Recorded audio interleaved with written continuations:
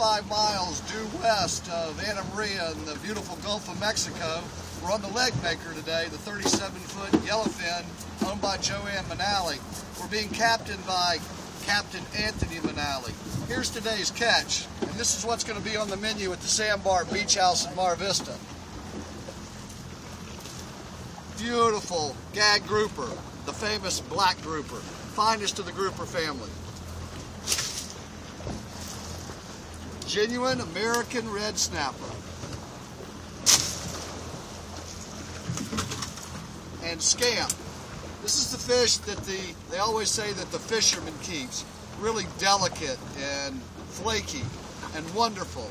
And it's going to be what's for dinner tonight at the Sandbar, the beach house in the Mar Vista.